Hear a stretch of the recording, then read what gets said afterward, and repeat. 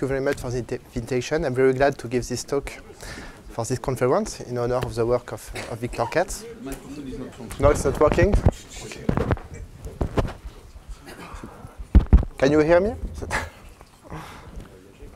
Is it okay? Uh, okay, so the subject of this talk will be uh, so one of the many directions uh, are now currently de developed in the fields of Kac-Moody algebras, so which will be related more precisely to quantum Kac-Moody algebras and uh, some examples of categorifications. So first, I would like to remind uh, some classical objects so that we, we have already discussed today. So first, affine Kac-Moody algebras. So let us start with uh, simple, simple finite dimensional complex algebras. So G of uh, G, which is a simple finite dimensional Lie group. So for example, that we will use uh, in several parts of the talks uh, SL2 of C. So then we have the loop algebra, which is an infinite dimensional Lie algebras, which can be defined by extending extending the scalars to the ring of Laurent polynomial in a formal variable t. And then we have central extension, non-trivial central extension of uh, L of G that we will denote uh, G hat in this talk. And uh, so this is uh, an affine Kac-Moody algebras, so this, without derivations that we will use, use uh, in, this, in this talk. Okay, so of course it is uh, an infinite dimensional algebras. And um, so it is, as we, we saw this afternoon, very important infinite dimensional algebra.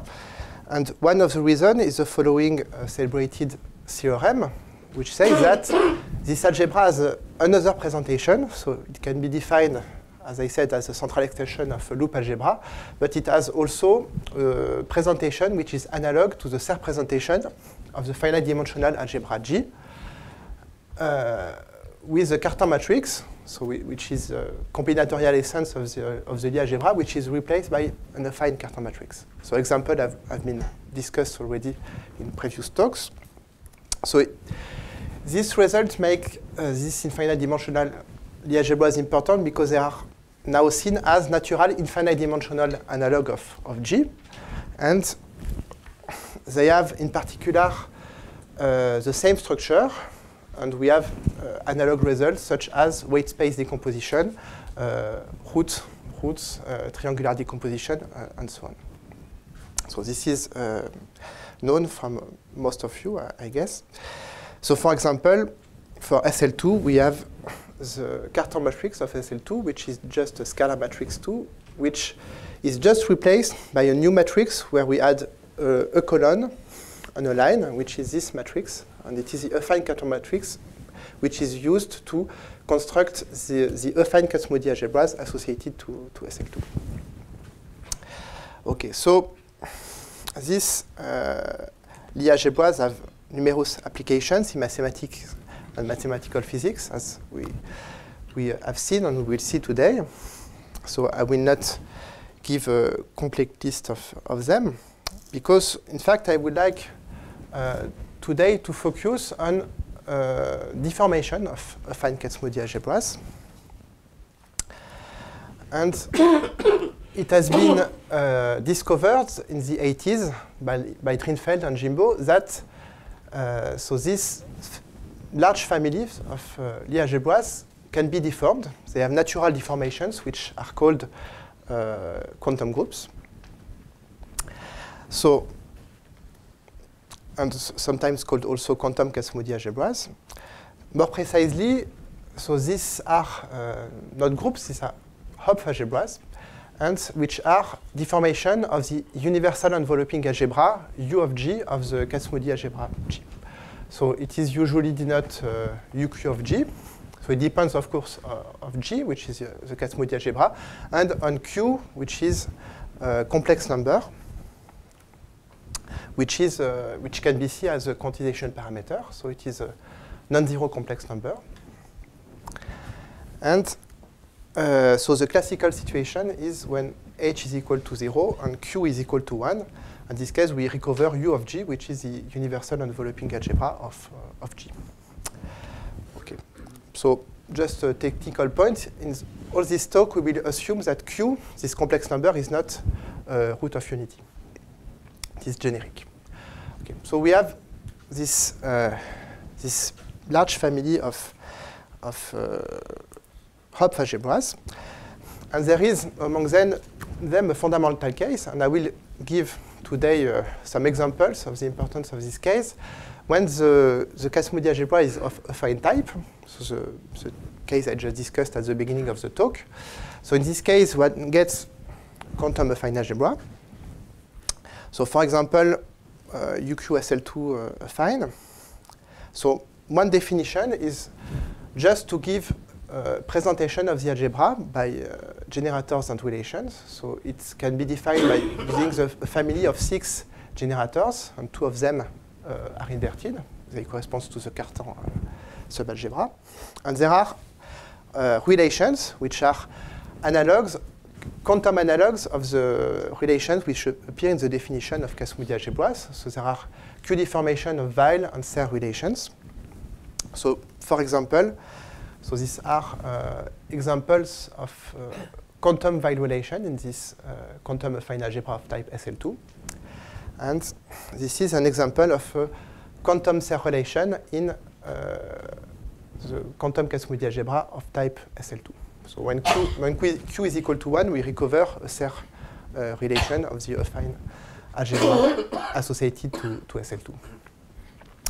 But what I would like to emphasize here is that this, this, uh, these algebras are, uh, have a particular property which is analog to the property of affine algebras among Kac-Moody algebra. That is, there is a quantum analog of the theorem that I uh, mentioned at the, beginning, at the beginning of the talk, so which is the following. So it's a theorem of uh, Drinfeld and Beck, who I guess was a student of, of Victor. Uh, so there is, in fact, uh, another presentation of the quantum affine Kac-Moody algebras. It can also be defined as a central extension of a quantum algebra. So it is completely uh, analog to the classical picture. And uh, so a way to, to explain this, this property is uh, with the following picture or co commutative diagram. So we have, uh, so G is the finite dimensional Lie algebra, SL2 for example. Then we have, so by affinization, I mean central extension of the loop algebra, the affine Kac-Moody algebras. Both of them are Kac-Moody algebras, so they, they have corresponding quantum group, which is uh, deformation of the enveloping algebra. And what this theorem says, says that, in fact, this quantum affine algebras can also be defined by affinization of the quantum group UQ of G. Okay. In fact, we have two processes, in some sense, that do co commute. So it's a way to see it. And in, in precise terms, it, this algebra has two presentations which are uh, isomorphic. Okay. So, uh, so that's it is one of the results which makes this uh, which make possible to st study properties of the representation of this uh, algebra so that I would like to discuss today. So quantum affine Kac-Moody algebras have many applications, so I will just list a, a, few of them, and then after I will focus on one example that I would like to, to detail. So first, it allows to, to provide solution of uh, quantum Yang-Baxter equation, which is uh, so this uh, relation, which is uh, known by many of, of you. And so, for example, I just I give here the solution, explicit solution in the case of SL2, which is provided by representation theory of uh, quantum affine algebra associated to, uh, to SL2. So it is a solution of the quantum Yang-Baxter equation. So in this case, it's related to models like XXZ model or six-vertex model. And it's well known also that it's possible to use the representation theory of quantum affine Kac-Moody algebras to construct solution of quantum case equations. So I just give some, some example of uh, very rich applications. There are also applications to uh, classical theory, canonical basis, crystal basis, relation to, to geometry via, via Nakajima's quiver varieties. Also, uh, another connection with uh, physics, with uh, discrete uh, dynamical systems, is that it's possible to provide solution of uh, T systems by using also representation of quantum Kac-Moody algebras. And uh, I just write an example of a T system. So it's this is what people call octahedron relation. So it's a relation which depends. So there is a uh, indeterminate which depends on A, B, and C, which are some, uh, some variables. And this is a relations which has have been studied in particular in people doing uh, cluster algebra theory. And the representation theory of quantum Kac-Moody algebras give solutions of this of this system. And it's a part, in fact, it is uh, associated to type A, to SLN, and it is, it is an example of a more, much more general class of such relations which are called T-systems. But, okay, so we could discuss this much more, but I have just 25 minutes, so I will focus on, uh, on, another example of application to uh, classical Lie theory via categorification. So this is what I would like to, to explain. so, so as I said, the representation theory of this uh, algebra is very rich.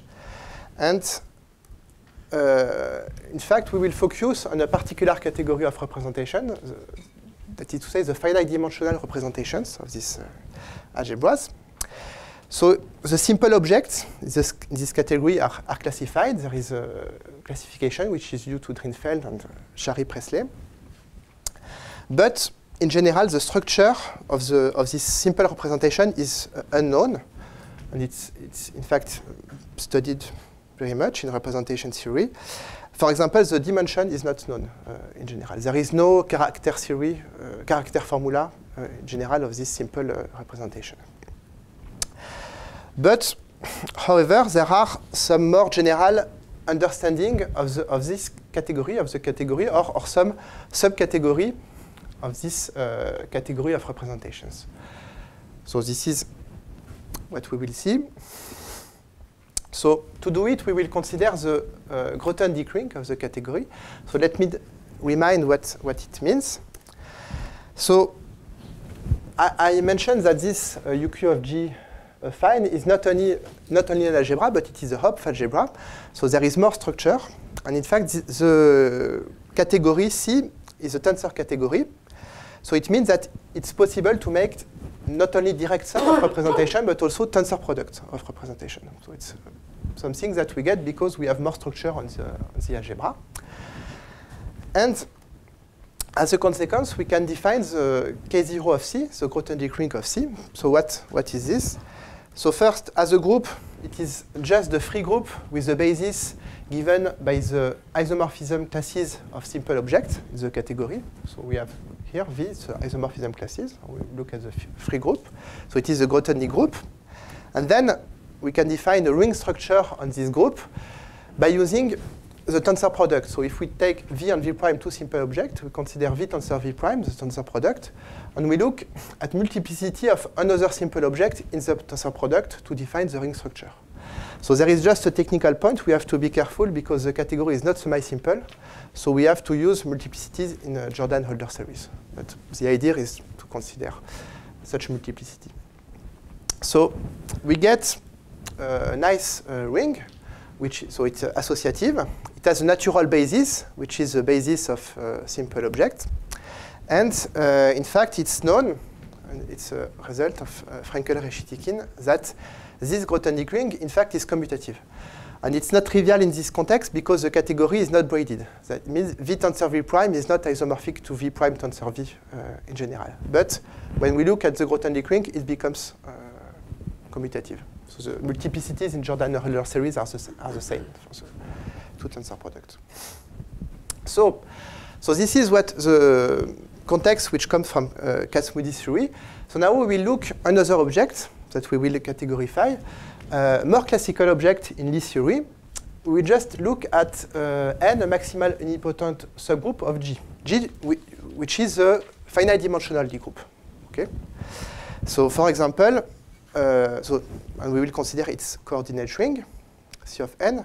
So for example, if G is SL3 of C, finite, dimensional Lie group, we, we consider n the subgroup of upper triangular matrices uh, with one of the diagonal. And so we have natural coordinate here, x, y, and, and z.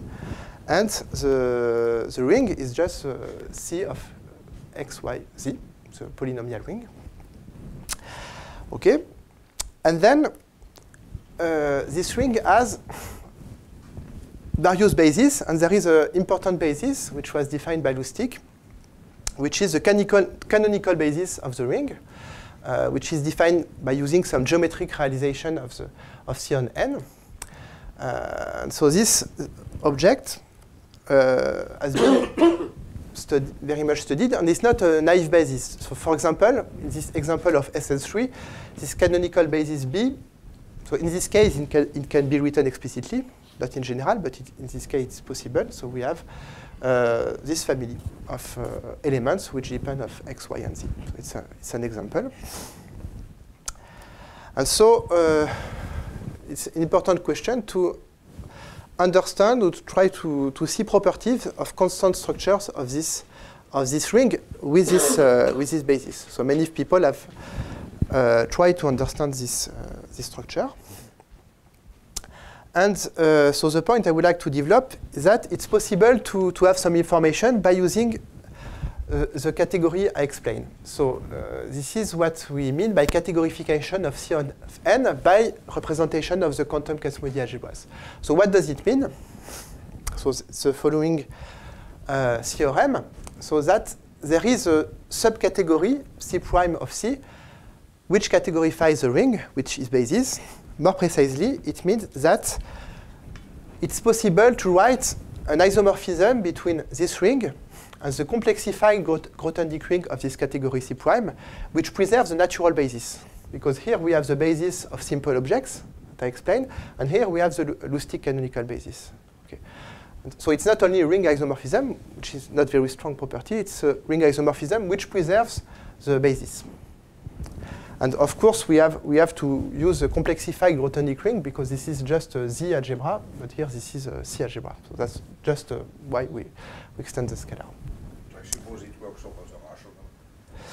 Uh, yeah, yes, yes. Yeah. Maybe not over the integers.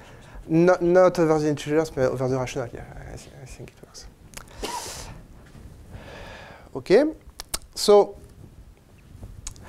uh, so first uh, point I would like to mention is that C of n is associated to the finite dimensional Lie group, but C prime here is related to the infinite dimensional Kac-Moody algebra uh, G, G affine. So this isomorphism relates, and I will be more precise about this point later, but first we can notice that this, this property. And uh, so one way to say it is that n uh, is a geometric realization of this ring with uh, its natural basis. So, okay, why not? But now we can ask, wh why are we doing this? Is it interesting to, to do such uh, categorification? So there is an application of, of, this that I would like to, to explain. And in fact, it's related to the general motivation of categorification, which, so I, I gave an example. It's a, there are many, much more examples, but the idea is to use a category to, and uh, some algebraic or geometric structures and try to exchange information between the, two. Okay? And so is it possible in this case to, to do something? So we can use general properties of the category C. Uh, so there is a, the following general property, which is not true for arbitrary simple object in C, that uh, so if we consider uh, tensor product of n objects in this category, okay, so we can do this, S1, tensor S2, tensor S3, up to Sn, then this is simple if and only if 2 by 2 the tensor product are simple. So this kind of property are, are not true in all uh, uh, tensor categories associated to representation theory, but in this category it's, it's true. And uh, also this situation happens because there are many cases where such tensor products are simple. Okay, so it's not.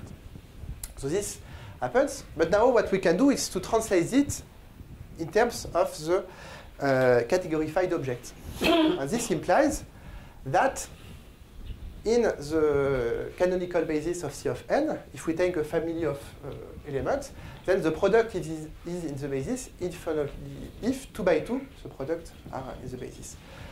And so thi this is a statement which was uh, conjectured by Berenstein Zelevinsky, and it's related to cluster algebra theory, which was already uh, mentioned in the, talk of Maxim.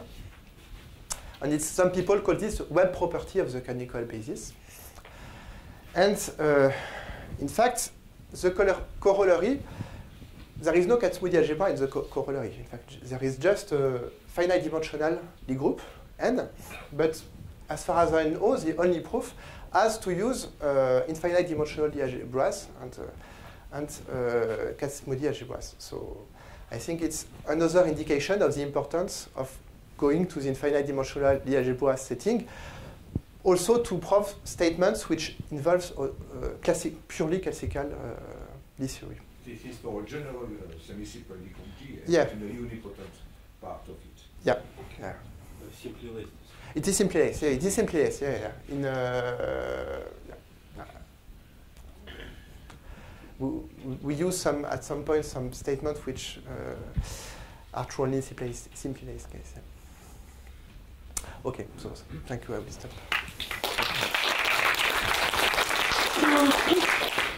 Merci de la ponctualité extrême.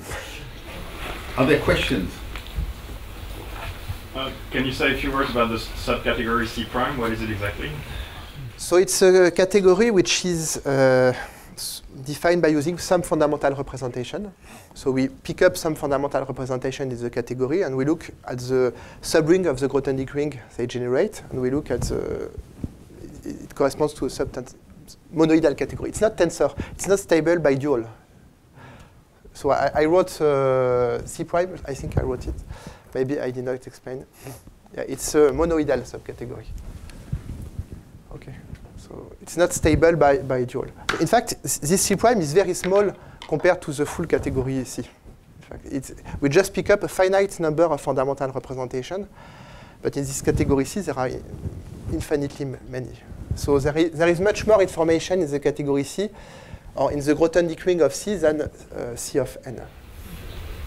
So it means that we have simple objects in C which have the same multiplication rule as the basis in, in the C of n. Tout à fait. Yeah, yeah, exactly. Yeah. This is what, what this isomorphism uh, means. Yeah.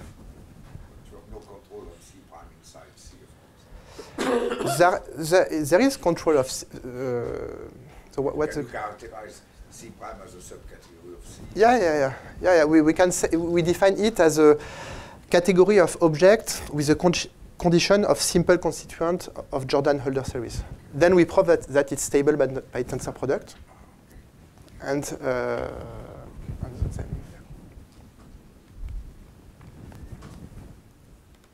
okay.